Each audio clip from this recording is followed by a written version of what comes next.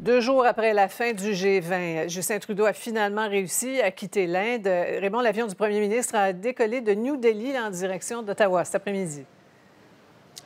Voilà, M. Trudeau devait rentrer initialement aussi au Canada dimanche. Or, il y avait une pièce défectueuse à bord de l'avion des Forces armées canadiennes qui transporte le premier ministre, son entourage et les médias lorsqu'il se déplace à l'étranger, si bien que cette pièce a dû être remplacée. On a fait venir une pièce du Canada jusqu'en Inde. Elle a été remplacée au cours des dernières heures, si bien que M. Trudeau et son entourage ont pu finalement quitter l'Inde à peu près 48 heures plus tard euh, que prévu euh, au cours de la journée. Ils sont attendus à Ottawa en fin de soirée euh, ce soir, Sophie. Fait intéressant par rapport à cette histoire-là, au cours des dernières heures, il y a un média indien qui a rapporté que le gouvernement de l'Inde a offert un avion de la India Air One à M. Trudeau pour lui permettre de rentrer au Canada, mais c'est une offre qui a été déclinée, euh, semble-t-il, par le gouvernement canadien. Voilà. Raymond, vous êtes à, London, euh, en Ontario, où M. Trudeau va rencontrer demain les députés de son parti, et il risque de constater que l'ambiance est assez morose.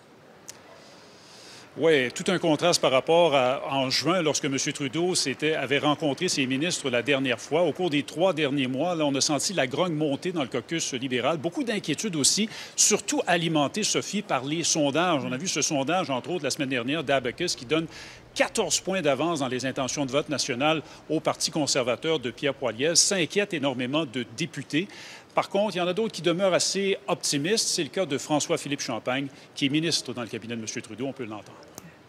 C'est des moments plus difficiles, mais, je pense, je vous dirais, euh, que les, les, Canadiens, M. Fillon, savent dans leur fort intérieur que quand ça va moins bien, euh, ils savent à qui faire confiance. Puis ils nous ont vus comme équipe gouvernementale durant la pandémie où on était là pour justement les appuyer, appuyer les entrepreneurs, euh, les travailleurs, les travailleuses, des familles.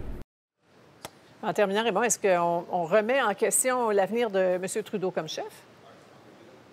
Selon les députés à qui nous avons parlé au cours de la dernière semaine, et on a parlé à plusieurs d'entre eux, Sophie, la réponse, c'est non. Euh, tous disent que M. Trudeau, malgré les problèmes qu'éprouve le Parti libéral dans les sondages actuellement, demeure, selon eux, le meilleur porte-étendard pour le Parti libéral du Canada, le meilleur campaigner pour affronter Pierre Poilievre aux prochaines élections. Alors, on ne s'attend pas à ce que son leadership soit remis en question ici cette semaine. Merci beaucoup, Raymond.